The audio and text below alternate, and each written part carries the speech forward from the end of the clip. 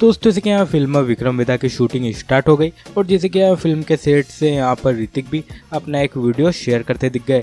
जैसे कि ऋतिक, जो कि अपना एक वीडियो, जो कि यहाँ पर शेयर करते हुए लिखते दिखे। Hero walking on the set after two years तो जैसे कि ऋतिक, जो कि लगभग दो सालों बाद यहाँ पर किसी फ़िल्म की शूटिंग कर रहे हैं। साथ ही क्या ऋतिक का लिखना तो था ही wait for it Vikram Vedha तो इसी में उसके ऋतिक, जो कि हमें काफ़ी जल्दी यहाँ पर विक्रम वेदा में तो दिखेंगे ही। और फाइनली क्योंकि अब यहाँ ऋतिक ने फ़िल्म की शूटिंग स्टार्ट कर दी तो इसमें कहा जा सकता है कि झटपट इस फ़िल्म की शूटिंग कंप्लीट कर, यहाँ पर ऋतिक, जो कि अपनी नेक्स्ट फ़िल्म यानी कि आप फाइटर की शूटिंग में भी लग जाएँगे।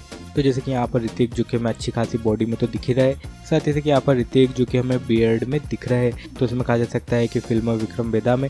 यहाँ पर हमें ऋतिक का दाढ़ी वाला लुक देखने को मिलेगा, साथ ही कि ऋतिक की हेयर स्टाइल भी कुछ अलग तरह की रहने वाली है।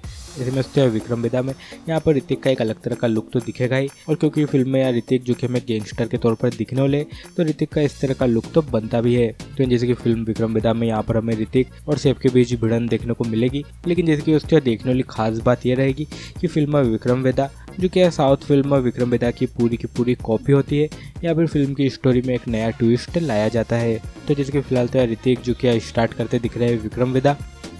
साथ ही और बॉलीवुड से जुड़े लेटेस्ट अपडेट के लिए चैनल को सब्सक्राइब करें, लाइक, शेयर, कमेंट ज़रूर करें।